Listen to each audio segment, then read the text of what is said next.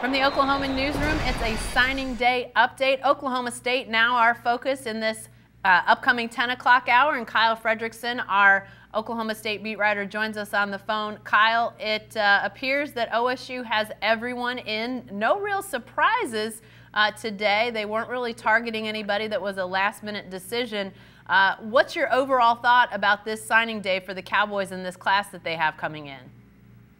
Yeah, thankfully the, the the most drama it seems that they have on on signing day today is the fact that Mike Gundy showed up to his press conference without a mullet. That was uh I think that was the biggest decommitment we've seen from anyone uh, right now for, with with this class in, in terms of hairstyle. But no, this has been a day uh, that I think OSU is, is looked forward to. Uh, Mike Gundy's talked recently uh, about how, with the continuity of this staff, bringing the same recruiters back for a consecutive season, something they hadn't done in a long, long time uh, that allowed them to really recruit some players that they got in on as juniors, uh, continuing that relationship through two full recruiting cycles and all culminating into today. So, uh, in terms of the rankings of, of, what these guys are individually and then collectively uh, with some of these recruiting services, um, it's going to be a class that's going to finish probably in the mid 30s nationally by most of those those recruiting services.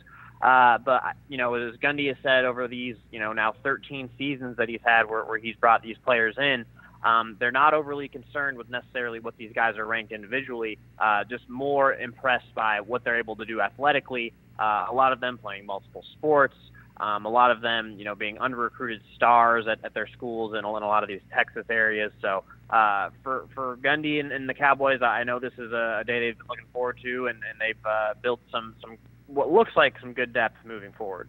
Yeah, uh, just to clarify, by the way, Mike Gundy said he cut about three inches off the mullet, so I think he may still technically have the mullet, but it's definitely shortened down from what we saw uh, at the end of last season. He was a little worried about going into homes for home visits during the recruiting push here with uh, with it looking a little uh, a little bit scraggly. So uh, Mike Gundy has cut the mullet back just a hair, no pun intended. All right, Kyle. One of the more juicy items that came out of Mike Gundy's press conference and talking about this signing class is that they have one scholarship left.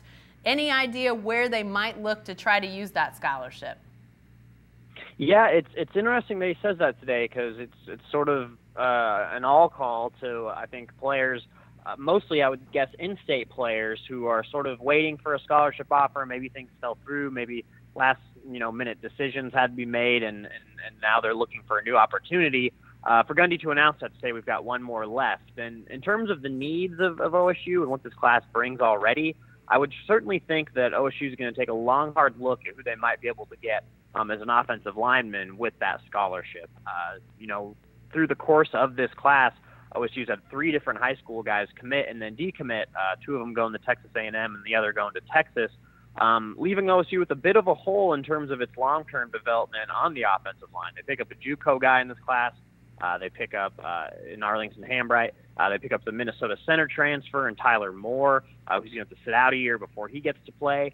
So they like the pieces that they've added, uh, but in terms of developing it for you know down the line at 2019 and 2020, uh, you know that's where they're really looking ahead. Uh, I think it may be filling that last spot. Yeah, definitely something we'll keep an eye on to see who might fill that last scholarship spot. Some some local guys. Uh, that, that could fall into that. So we'll continue to follow that in the coming days and weeks. Uh, but Kyle, you talk about offensive line maybe being a position that this recruiting class could could you know, be improved by with an addition.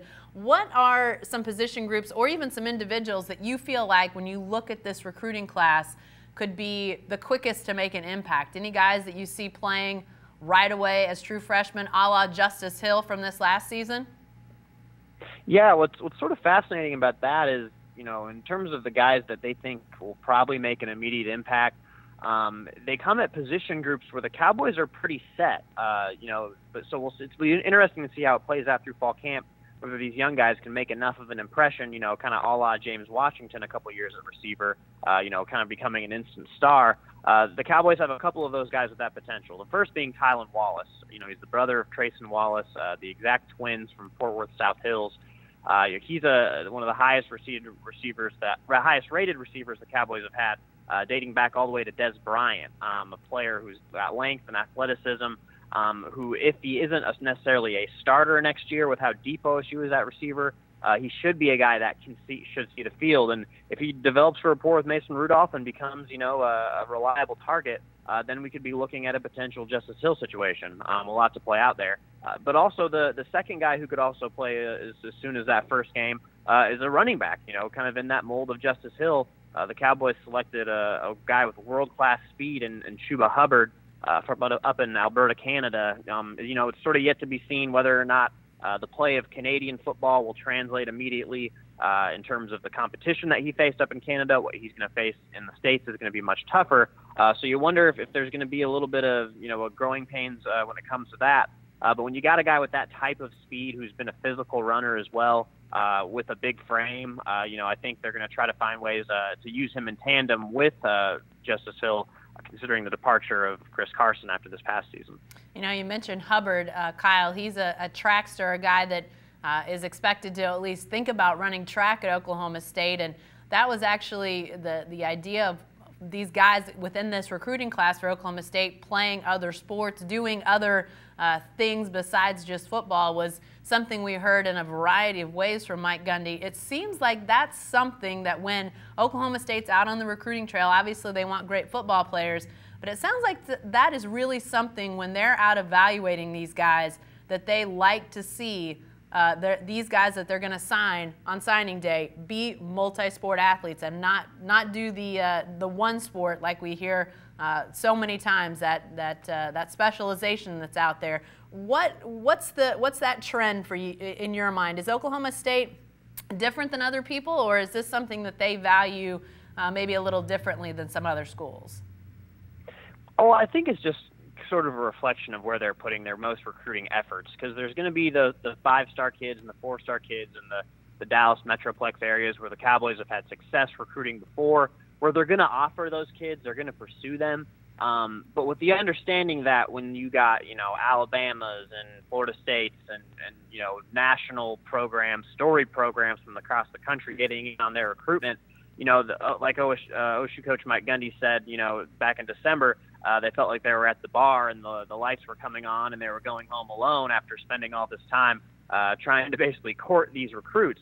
Uh, so when you look at all these multi-sport, multi-position guys on the roster, uh, it's a reflection of where the Cowboys are, are, are emphasizing. They want to go out and get the best players on the field, uh, guys who are sort of natural leaders because they have to play so many different positions or sports. Um, you know, time management. They sort of come in, I think, a little more chiseled uh, mentally than maybe some of these other guys who are only playing one sport and recruited in one area. Um, and they're the typically those three-star athletes that the Cowboys have, have really built this program on, and, and some of their best players uh, started in that mold. So, uh, you know, they they love to really rely on Rob Glass and, and how his ability to develop players. So, uh, when you guys who come in uh, to the program have so many intangibles like that, uh, they really like their ability to to turn them into the athletes uh, that they project to become. Hey, lastly, Kyle, tell us where you are today. Uh, we, have been talking about Mike Gundy's press conference, but because I'm here in the studio and you're actually not in Stillwater either, where are you today? Who are you going to see? Um, right now, I'm in Oologah uh, to see Brock Martin, uh, the defensive uh, end for the Cowboys who committed. Uh, later, I'll be going to Bixby to, to see Brendan Evers, who's a defensive tackle commit. So I had to do a little bit of driving this morning, uh, but uh, you know it'll be nice to sort of see these kids and and to kind of see just the emotion of this day because uh, you know when they look back on on their football careers and, and just their life in general, uh, you know this is going to be a, a time that they'll always remember. You know, kind of making it official, uh, having someone else uh, pay for your college to play uh, a college sport. Uh, it's a it's a pretty exciting time for anybody.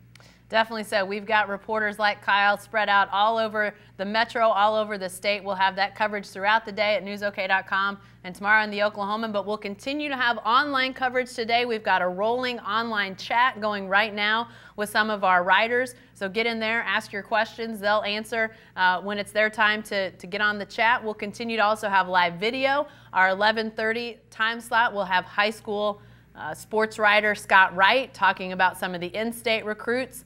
So we'll have wall-to-wall coverage continuing as signing day does as well. Be sure to stay with the best coverage team anywhere at newsok.com and every day in the Oklahoman.